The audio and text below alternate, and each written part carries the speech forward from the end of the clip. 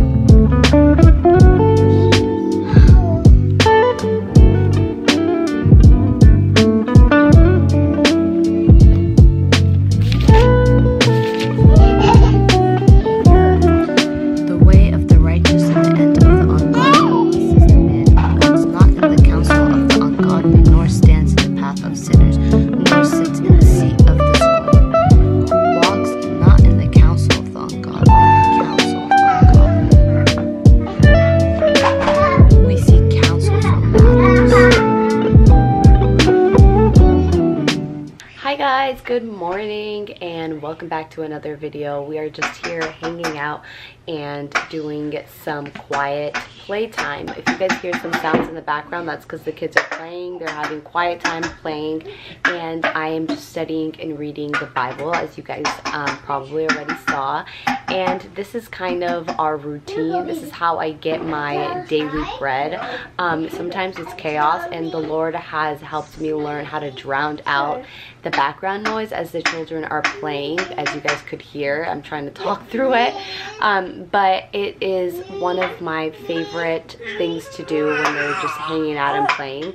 I used to be stressed out that i don't have enough time or i don't know how to like fit in time and just having communion with the lord but i realized that um, God just makes a way for you and like teaches you and refines you through the different seasons you are in life. And right now, the season I'm in is motherhood, and life is crazy, and I'm giving myself grace. So, yeah, so we are just in. I try to change up the location because I like have toys all over the house. So, we have toys in each of the kids' rooms, in their closets. They have little toy boxes that they just have all their favorite toys in. And then we have our family room downstairs that has toys in. And right now, we're in my son's room, and so we're just all hanging out in here and I am reading my Bible. I have been wanting to read the book of Psalms again. So I've been in the book of Psalms. I've been reading all of the Psalms right now. I started from the beginning, but for some reason I genuinely enjoy the Psalms. I think that there's something so refreshing to my soul in the book of Psalms and just some of some of the things that David says and the way that he feels and the way he's pouring himself out to God and his heart out to God. And it just is so um, relatable you know? Sometimes we're in seasons where we're like okay refresh my soul. Like give me the daily bread that I need to continue on this day. And I and I find that very fascinating and refreshing because like even in the book of Exodus you know when he takes the um, Israelites out of Egypt and he brings them into, you know, the wilderness and he tells them like go out every day and get new manna. And I always think that that's fascinating because they couldn't keep that bread for the next day. Every day they had to wake up and get new bread. And obviously the Bible refers to the word of God and you know as the bread of life. And so I feel like every morning as often as I try to do this it gives me it sustains me for my day. Um, it sustains me for for the you know just motherhood. And I think sometimes we leave God out of motherhood. I feel like motherhood is one of those things where I feel like when I spend time with the Lord and I have communion with him and I just pour my heart out to him. And even if it's something like give me the patience to deal with um, you know this individual child or help me like give me the wisdom that I need to um, teach them and to strengthen their talents or you know even just give me the patience to deal with their tantrums. Um, thank you sweetie. I'll just take the markers. You can have the color pencils. You can, yeah I'll just take the markers because I don't want you guys to dry them out Um, but you can play with those. Yeah, go ahead and play with those ones. Yeah. Um, so, like I was saying, um, I have like glue sticks. I just, this is a dresser and there's just so much junk up there.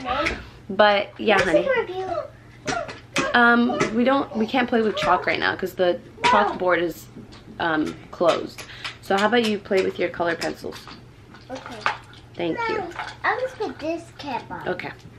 Um, so anyways, I just feel like motherhood is like something we leave out. Um, we leave God out of our mothering. And I feel like God has created us so that we do things in partnership with Him and we can't do things without Him. And I feel like sometimes the strength that we need, the motivation that we need to be good servants to our family is only something that we can get from the Lord. Like we can't find that type of um, that type of not even motivation but like drive and and and um patience i would say. Because before i was a mother i was not a patient person. Um and i still have a really hard time sometimes but i feel like sometimes being in the word helps me where i lack. And so those things I gotta pray for, and those things I have to ask God to give to me because I don't have those things, and I don't think that anyone does, and I don't think it's an easy job to to raise children. But I think when we give that to to the Lord and say, "Help me raise your children," because right, like God has given us these children as gifts, and so we're steward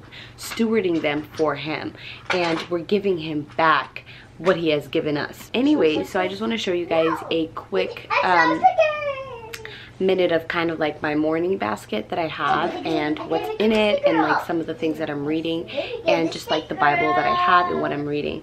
And I do have the King James version of the Bible. I also have the NIV version of the Bible.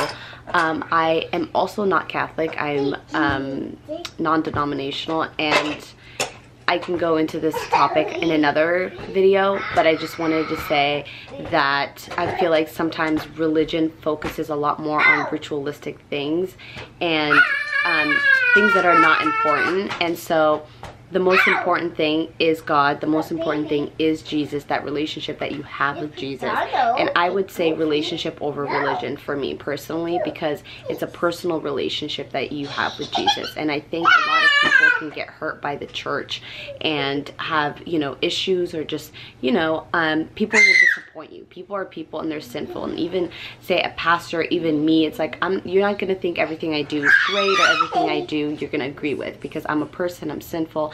I need Jesus just as much as you need Jesus. I'm not perfect and I'm still being refined and I'm, like I said, I have my own struggles, my own issues.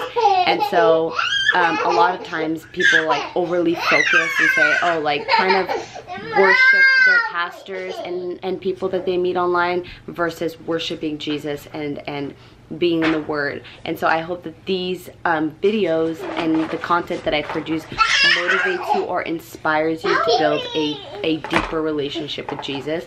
But like i said everyone's um, yeah there's a lot of questions that i get on here about that. So yeah niv version is the one that i use. I have two i have multiple bibles but right now my favorite bible is um, the spirit. I have two like i said. So i have the spirit filled bible which is um, yeah the so it's um, the new king james version spirit filled bible so it's this one. Um, i use this one kind of as like a background like a background book. I don't even know how to describe it. This book has this bible has a lot more information and content in terms of like the era or the year that the that um that book was written. And so as you guys saw as i was reading the king james version it um here i'll show you guys so it has interesting little things like this like explaining and going into further detail about this so this is praying the word so here was a psalm that i just read and it says and this is just a prayer that includes that verse, which I love. I love this concept of praying the word. So as I meditate on your law, Lord, day and night, I will be like a tree planted by rivers of living water that brings forth its fruit. In its season, whose leaf also will not wither, and whatever I do will prosper. And it says, adopted from Psalms um, 1 2, and 3. So this is another thing I love about this Bible.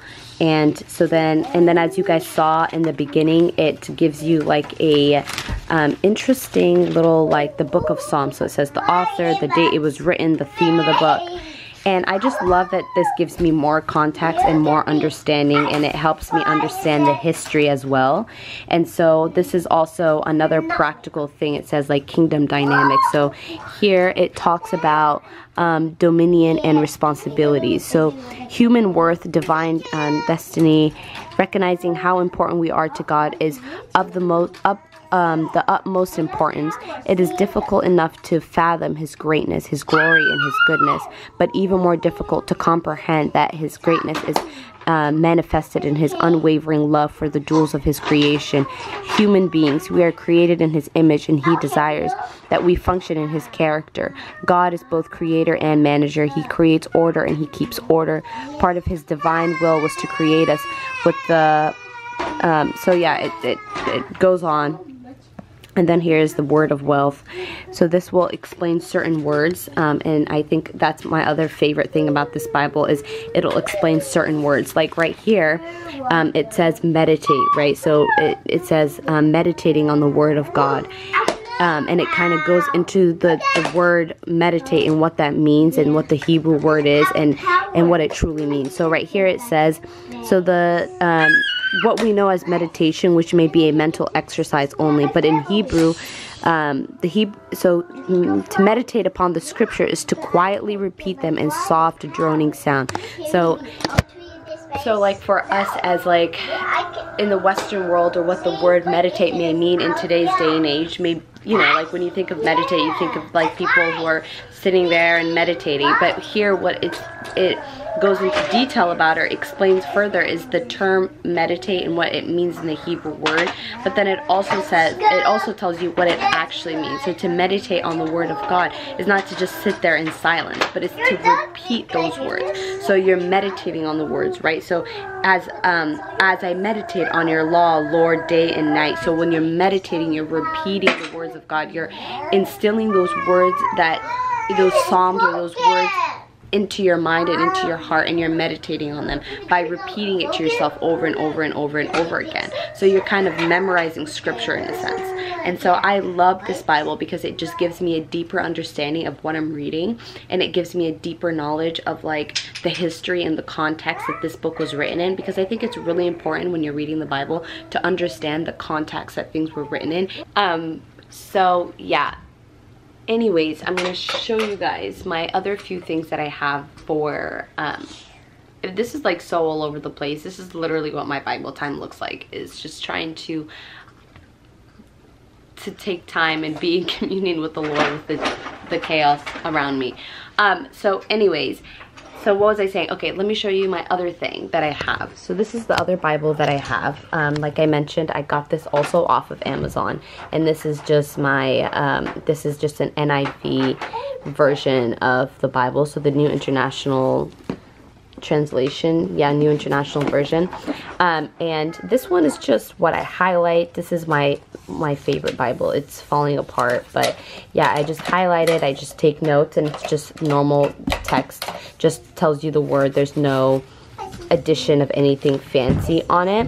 Um, and then also what i have that I use is this little basket that I thrifted. So in this basket, I have a pen, like just my pen, um, I have highlighters and sometimes I'll have sticky notes and other stuff in here. I also have a few books in here that I love that I also read. Um, so I am reading this book right now. It's called The Case of, The Case for Christ. And then this is another book that I'm reading. It's called Praying. It's called Praying Circles Around Your Children and it literally is the tiniest book in the world. Like I've never seen such a small book but it's such a profound and amazing book. It just talks about intercession prayers praying for your children praying for their future spouses just like so it, it is if you're a parent and you know you want a good book to read that's simple and I just love this book planting seeds of faith in your children's hearts. This author does such an amazing job just going through you know um, different stuff and I just love how encouraging this is. It says, oh I love this, look at this. You will never be a perfect parent, but you can be a praying parent. Prayer is your highest privilege as a parent. There is nothing you can do that will have a higher return on investment. And anyways, it's just beautiful. Super beautiful book. So these are some of the books that I'm reading. Hey, sweetheart, are you crying? It's okay. Look, mommy's right here. Here's my sweet little chunk. Look at those legs, you guys. Just look at this. Ugh, I just love baby feet. Look at this sweet little thighs. I love you, honey. Um, okay, so yeah, this is what's in my little prayer. I call it my morning basket, my morning prayer basket. And this is all the things I have in here. Um, and then I just, you know, carry this around the house, take it up upstairs, downstairs. And yeah, so if you guys have any other recommendation of books, maybe I'll do like a book list on my, um, on my, like, uh, blog. You guys should definitely check it out. So this is all the things that I do. The kids are over there playing. Um, so this is like my little morning time um, and what I do in the morning. And um, if you guys have any recommendations for books and stuff that I should read, I love reading parenting books. I love reading apologetic books. Um, I love apologetics. I love understanding um, theology and different doctrines. I think it's so important for people to know what they believe in and to have that conviction. And I think also being a homeschooling mom, like for me, I think it's so important to also give those resources and those tools and understanding to our children because there's so many different things that the world wants our children to believe. And I think helping them learn and discern um, in seeking truth is so important and that's something that I want to be good at and I want to understand and I think that's how I started my journey and I'm just I have this hunger for knowledge and understanding and the truth and I think for me it's so important to just yeah to just pass that kind of wisdom onto my children and I pray for their wisdom. I pray that they have wisdom and discernment and that the Lord just uses them in a mighty way. So I think it's so important. This book, this this little tiny book, it's literally $2 on Amazon and it's the best $2 you'll spend in your whole life. And if you're a parent, um, I highly recommend that you read this book. I just, prayer and interceding for our children and their future is so important. Like, it is so important. And maybe I'll do another video about that. Okay, honey, I know. I've been on here for so long. I know. It's okay, baby. Look at you. You're such a sweet girl. Come here. Um, so, anywho, that's kind of a little bit of what we do and kind of how we study, how I study, I guess I should say. Um, and I think this might be it for this video. Um, but if not, I will continue it, but I think this might be it for this video. So if you guys enjoyed watching this video, make sure you guys stick around for more videos. I'll try to do my best to be more consistent. I am just giving myself some grace. I, like I said, I just had a new baby six months ago. I have three kids total. Um, life is crazy. And so, you know, I just want to spend time with them and have more time together as a family and so my highest priority is not YouTube I would say my highest priority is my family so um but I also want to say if you guys um, yeah want to follow along um, you guys make sure you follow me on instagram. I will link it down below. I will also link down my blog um, below. I will start posting more on there. And um, i'll link some of these books so you guys can take a look if you're interested. But i really appreciate you guys for being here um, and yeah much love to every single one watching this video. Omg my hand is getting tired. Um, yes so um, yeah, I just pray that you guys um, find some encouragement in this video and yeah, just spend your time with God, you guys. I know it's crazy with children, but you know, we need to get our daily manna um, every single morning. Like every single morning we need that daily bread to give us the, the energy that we need to continue on and to focus on God. And so there's so many other things that are fighting for our attention but yeah spending time with the lord is so important. And yeah i will see you guys in another video. Um, love you guys all so much. God bless you guys. Bye